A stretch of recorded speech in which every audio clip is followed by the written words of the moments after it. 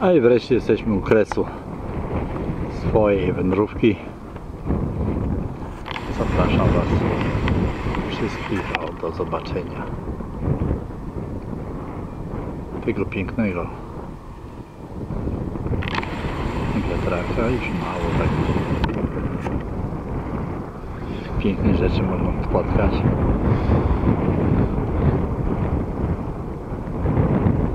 A nie wiem, czy on jeszcze jest, działa, czy nie działa. Bym musiał tu się właścicieli spytać, ale od razu tu mieszkają w tym, domku.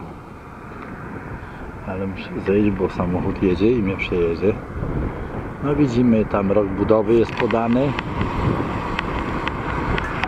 O góry. Można sobie przeczytać. Właściciel przyjechał. Zajadam chipsy, bo zgłodniałem, ale tu teraz ujęcie z drugiej strony. No i widzimy tutaj na garażu też malutki wiatraczek pracuje.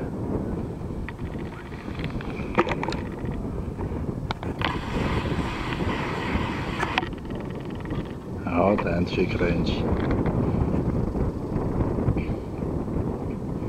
A typowe takie małe gospodarstwo.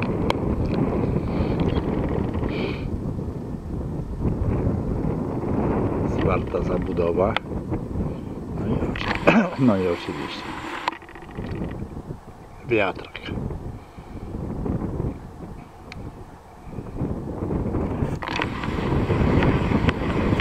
Pokazać go powoli wszystkie jego elementy. Nie wiem tam może pisze tam jak zwiedzanie ile kosztuje czy kiedy, ale ale może następnym razem z- tutaj to chętnie zapłacę i wejdę, żeby zobaczyć jak wygląda w środku. No a przy okazji zrobię mały film o tym i, i Wam wszystkim pokażę. Nie będziecie musieli tu przyjeżdżać. No i tak się żegnamy z tą małą, malowniczą miejscowością. Widzimy zachód słońca. Mnie też już czas. Do zobaczenia. Nie wiem czy będzie dobrze widać, ale chciałbym przybliżyć i pokazać ciekawe zjawisko. Tam płynie kontenerowiec za tym wałem przeciwpowodziowym. Zaraz będzie tak ciekawie, że widzieli jego nadbudówkę nad dachami domów. Więcej zbliżyć nie mogę.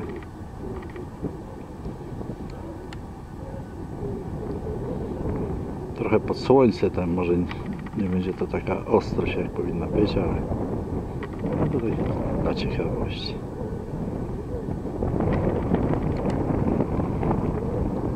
No teraz widzimy. Fajnie to wygląda.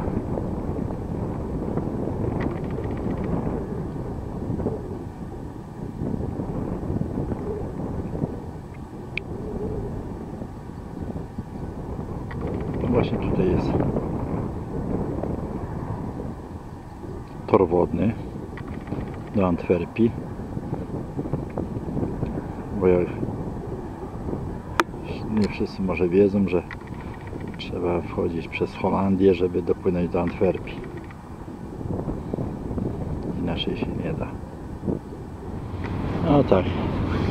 Przeszłem przez falochron, to znaczy wały przeciwpowodziowe, żeby pokazać jakie tu są duże pływy. Nawet do 6 metrów. Widzimy gdzie jest ta woda, a była tutaj aż gdzie ja idę. Teraz jest odpływ. A tam jest statek. Stoi w terminalu pod załadunkiem.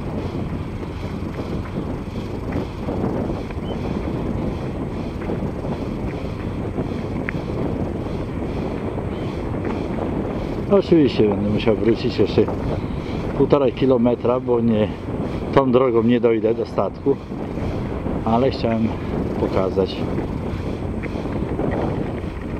z rufy. No już dalej będę szedł, tylko przybliżę.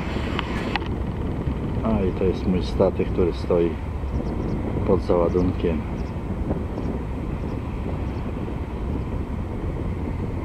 Widzimy jakie są dalby masywne, duże, duże ko- tankowce tutaj przypływają. No ale ze względu na pływy i prądy musi to być wszystko solidnie zrobione. A tutaj właśnie co stoję nad, nad tą wodą to jest właśnie tor wodny,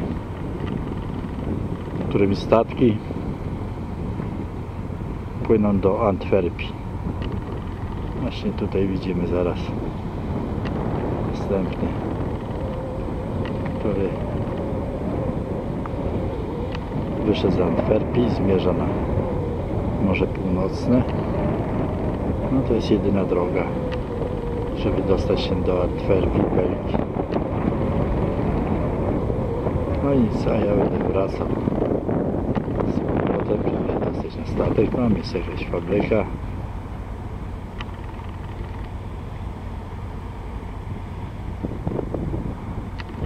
I tak. A tu są te bały przeciwpowodziowe. Jeszcze tam pokażę później po tych schodach, które trzeba schodzić na dół. No i powoli zbliżam się do schodów. To są schody od strony wody. Jak ktoś się orientuje, to wie, że Holandia leży w depresji i żeby nie te te masywne wały przeciwpowodziowe, to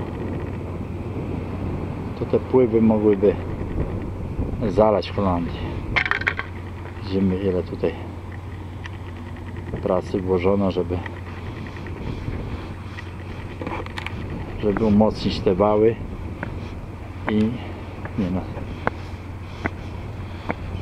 zapobiec powodzi. No idziemy po schodach do góry na razie. No w dół będzie trochę i więcej. Zaraz pokażę. Trochę się już zmęczyłem. A jestem już na górze wału. Teraz może go pokażę. Z tej strony. Z strony wody.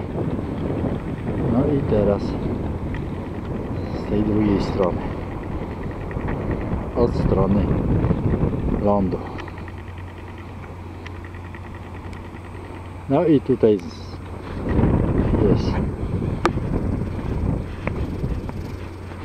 Schodzimy w dół. Jest tutaj więcej tych schodów, ale w dół się zawsze lepiej schodzi niż do góry. Widzimy, że tutaj jednak trzeba więcej pokonać tych stopni. No można przy okazji kąpiel zrobić w tych wannach. Chyba to jeszcze żeliwne. Nie wiem, metalowe, bo porzebiałe. Nie wiem jakim celu one tutaj zostały umieszczone, ale nie ma tutaj złomiarzy, tylko wyzwinęły do. No i jesteśmy na dole. Teraz pokażę od tej strony, od strony lądu, ten potężny wał przeciwpowodziowy. No i się uda już na statek. Koniec tego spaceru po, po tej małej mieścinie holenderskiej. Żegnam wszystkich i zapraszam do oglądania moich filmów.